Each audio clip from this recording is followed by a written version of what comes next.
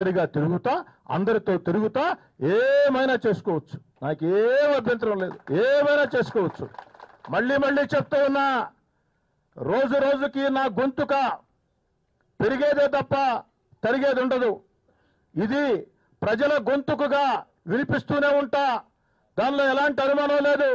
సభ్యత సంస్కారంతో కూడిన మాటలు మాట్లాడుతూనే ఉంటా. ప్రజా సమస్యల్ని ఎలుగెత్తి చాటుతూనే ఉంటా దాంట్లో ఎలాంటి అనుమానం లేదు. కాబట్టి గన్మెన్లు తొలగించినంత మాత్రాన నా మానసికంగా నేను బలహీనపడే ప్రశ్నే లేదు. మరింత రెట్టించిన ఉత్సాహంతో మరింత కసితో మరింత పట్టుదలతో ముందుకు సాగుతానని చెప్పని రూరల్ నియోజకవర్గ ప్రజలు నా కార్యకర్తలు నా సేవకులాస్లే నాకు రక్షణ తెలియజేస్తూ ఆ యొక్క ఇద్దరు గన్మెన్లను కూడా సుబ్బయ్య గారు రండి ఆ గన్మెన్ లేరు రమేష్ గారు ధనంజయ్ గారు రమేష్. వీరిద్దరిని కూడా ఒకరు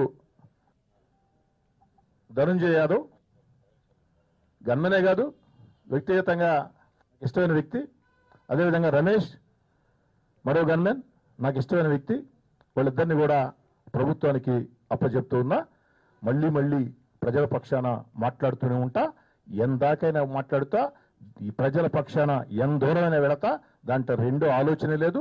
ఇదేదో సినిమా డైలాగులు అనుకోవద్దు సినిమా డైలాగులు అనుకోవద్దు. తగ్గేదేలా తగ్గేదేలా తగ్గేదేలా. పదిహేను మంది మంత్రులు ఒక్క శాసనసభ్యుడి మీద. నేను అడుగుతున్నా ప్రభుత్వాన్ని నూట డెబ్బై ఐదుకి నూట డెబ్బై ఐదు గెలుస్తామని మీరు చెప్తున్నారు కదా.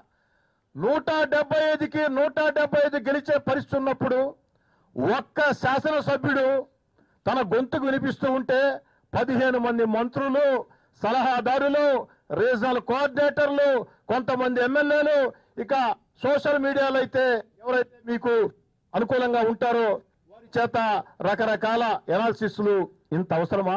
ప్రభుత్వ పెద్దలారా ఆలోచన సాగించండి. ఇంత అవసరమా? నూట డెబ్బై ఐదు ఎమ్మెల్యేలు మీరు నేరుగా గెలుస్తున్నారని విశ్వాసం మీకుంటే ఎంత అవసరమా? ఒక్క ఎమ్మెల్యే